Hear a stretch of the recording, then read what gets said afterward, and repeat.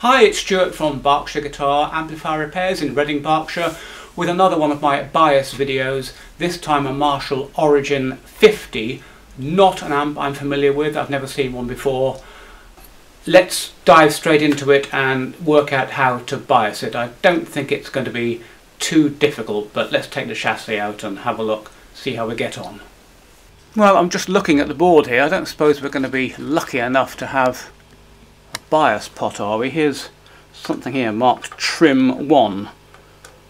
No way they'd mark that bias of course, that would just be kind of helpful. We don't really want anyone anything helpful on the board do we? I'm wondering if that's the bias. Let's, I've never had one of these amps on the bench. Let's have a little twiddle.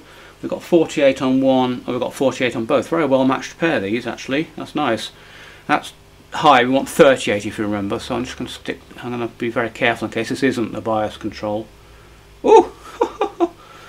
little touch anti-clockwise there, and this went down to 45 immediately. This is the bias control. Put that down to 39. So Marshall have added a bias control, which is fantastic, good. I like it when they spend the extra five pence and add a bias control otherwise you have to take the printer circuit board out and start doing all kinds of things. So this is looking very clean this amp, it looks absolutely mint to be honest with you. Uh, nicely biased up, I'm kind of wondering if we're done here.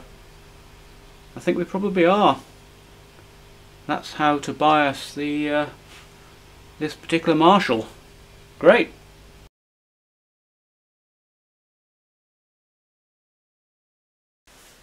Wow!